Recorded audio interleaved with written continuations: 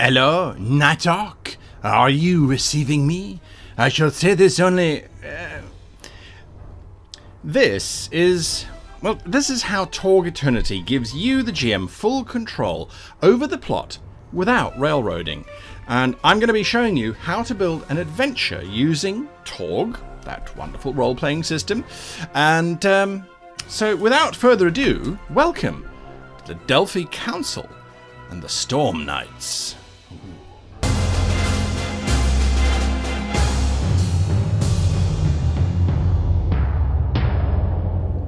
Hello and welcome to this, the third in our installment of the Torg series. My name is Guy, and before we scream and shout about what kind of video this is, well, I've got some great news for you. Now, Ulisses and I have been talking, and they have listened to your request for a playthrough, yay, and have given me the go-ahead to run one. Now, I've put together a team of players that I love playing with, and I think that you enjoy watching play, and we're going to be running a one-shot specifically for you, but this does require some planning, and so we felt it would be best to take you through that process to give you more insight into the game. And this is the first step. This is the first one. Next week we'll do the second one, and then the playthrough will hopefully air the week after that. But first... This is a sponsored video. I've been paid to talk about this system, and I hope that I have been fair in my assessment of the material thus far. I have spoken my mind about things that I didn't like. Now, if you want to see a full catalogue of what Torg has to offer, follow the link in the description down below and you'll get a 10% discount on your purchase, courtesy of Ulisses and How to Be a Great GM. Okay, done. So, where do we start when designing a one-shot? We have the lore, we have the cosms. There is another resource that's been included in the book, and I haven't spoken about it before. The Delphi Council. Now, this is a super secret agency formed by the United Nations and run by a very dubious character known as Quinn Sebastian. He's a charismatic, solutions driven, result achieving mastermind. The Council was established to fight the High Lords on their terms. Well, how do they do that? before we get there, we need to take a step back and from and, and, and, take a step back from that scenario and look at how does one actually fight the cosms and contradictions. Surely every soldier sent into a COSM turns into a COSM local. Well, actually, not everyone. Now, I've not spoken about them before because it is one of the things that I personally will change about Torg straight up. Enter the Storm Knights. These are individuals who have like a natural reality field, if you like, around them. One that resists contradictions and enforces their reality from uh, from from you know it, it, kind of works. Now, why would I change them? I, I, am not keen on the name personally. I think I'd call mine Section 51. I mean, we're playing with all the tropes, so so why not? Anyway, apart from the name, they're really cool. So anyway, these individuals are employed by the Delphi Council to go in where no one else can and to basically take it to the High Lords. Now, this means we have a whole lot of lore we have a lot of options and we have a large amount of information to dump onto the players at once, hence using the Delphi Council. As with most games that are lore heavy, we need to get our PCs into this slowly. Now, if you've ever watched a Marvel fan or a DC comic uh, film, uh, if you've ever watched those films, you will always realize, and they do this over and over, and then redo it, and then relaunch it, and resequel it, and reprequel it. They do the introduction movie.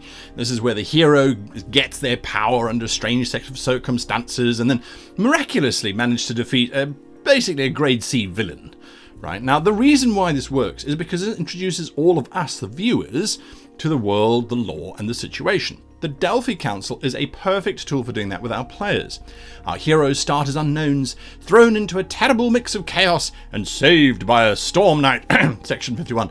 Uh, but that is technically, uh, you know, that, that, that, that Storm Knight is tragically killed before they arrive, which forces the PCs to pick up the flag and go it alone until the Delphi Council reaches out and offers them some information and guidance. This is literally blue pill, red pill moment for the players. Now, once your players know about the Torg universe, obviously, then you don't need to do this kind of setup game at all.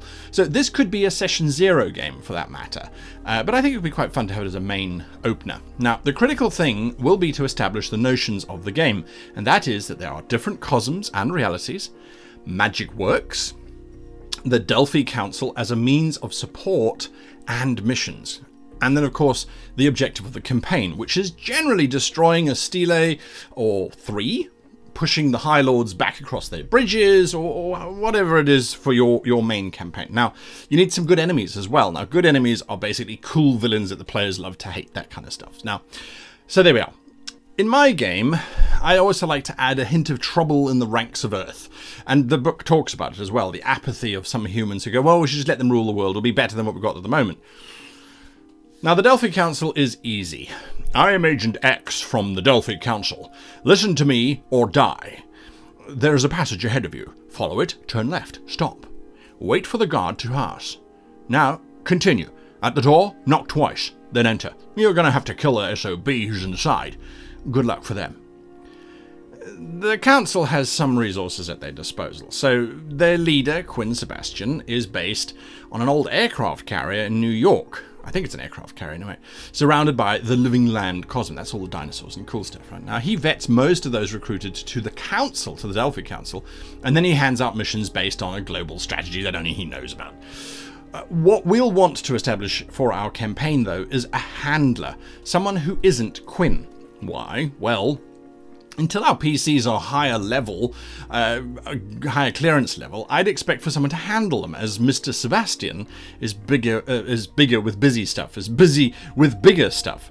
Now, our, our, our handler should be a good one, someone who knows the ropes, is giving the correct information, and is really someone that the PCs can trust, someone that, that they know is on the right side for them. So let's call him Malcolm.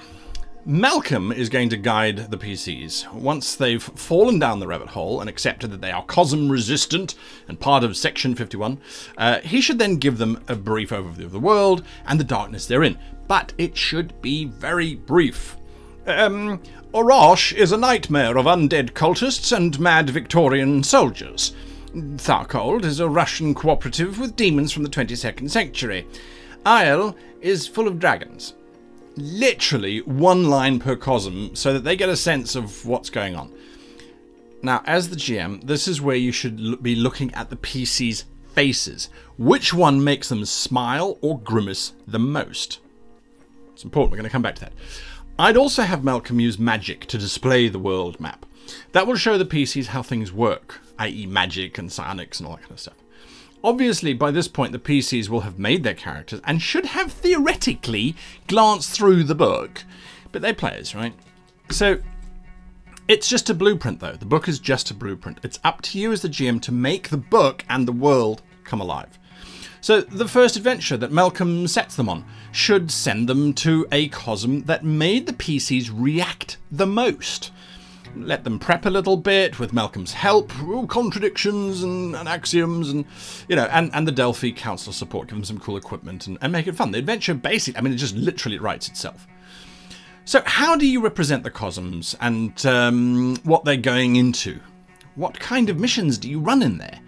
Well, in the core rulebook, there are examples aplenty for you to choose from. There's actually an entire section for the GM in the GM's Guide chapter that is devoted to explaining each cosm and why and what type of missions can be found there, why it's cool to go there, all the, the, the wonderful stuff. So it really is, it's a big world and there are many, many choices hence suggesting using the player's reactions to the lore dump to decide upon your first cosm then make them run through it. Make it fast paced and exciting, and it, it, should be just simple. Now, after that, the next adventure should be to another cosm. Don't get lazy and stay in just one. A good portion of the game flavor and the way that the game actually works relies on changing cosms to bring in all the richness and tone that the game offers.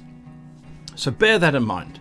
That's it from me this week. I'll be back next week when I design the actual adventure we'll be using in the one-shot based on the information presented in today's video. I hope I hope that these videos are helpful, and uh, you can help these. Uh, the, the, you can help the channel, I should say, by sharing these videos with your players if you think the Torg is for you and your group. Torg really has made me think about some cool adventures, and well, I, I can't wait to design the one for the one shot. It's going to be tricky because it's only it's only four hours or three hours or whatever it is. I mean, it's going to be tight. But we wouldn't be here to talk about Torg or to talk Torg, as they say. I feel like I should be talking about a car or something. Anyway, um, if it wasn't for my Patreons, you guys support the channel monthly, and I hope the rewards that you get for doing so are helpful in some small way. Uh, each month, patrons receive four podcasts several battle maps, usually it's three, and then a helpful or hopefully inspirational guide to adventures or making taverns or temples or whatever. Anyway, until next time, thank you for watching all the way to the end, and I wish you and yours the very happiest of gaming.